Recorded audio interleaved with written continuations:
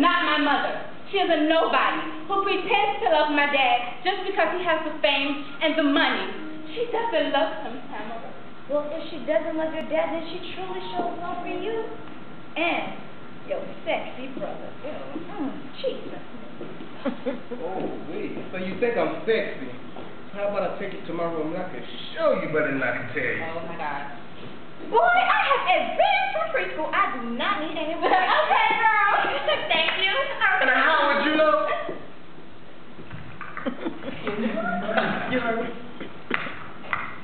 I know you are not trying to climb me, you Chris Brown reject. Oh. hey! So you trying to be Michael Jackson now? Girl, that right. Girl. Oh, would you take us over to Thomas House, please? So when did the boycott, the boycott start again? Was the men just had to take the women everywhere they wanted to go?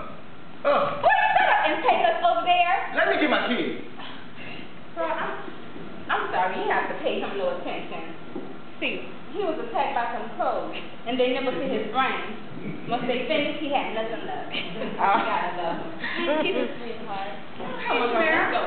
You gonna stay for dinner? Oh, I will. No, we are going over to her place tonight. And no, you are not going to her place tonight. You didn't ask your father nor me. Girl, please. Monica, come here. I'm sorry you have to sit beside me. Come on. I am sick and tired of you disrespecting and disobeying me. Well, get out! Come on, Tamara. You listen here. You uneducated, conceited, preschool child of being a woman. Mm. When I married your father, I married you for better or for worse. And you are truly the worst. But yet, I love you enough to allow you to keep your teeth in your mouth. If you ever touch me, you'll be locked up. Oh, really? Spoiled, conceited, uneducated, preschool of being a woman.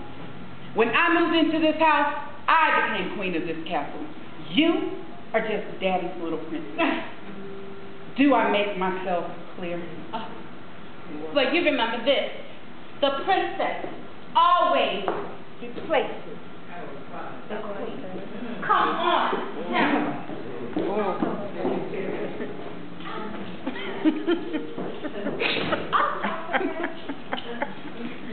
See, is what?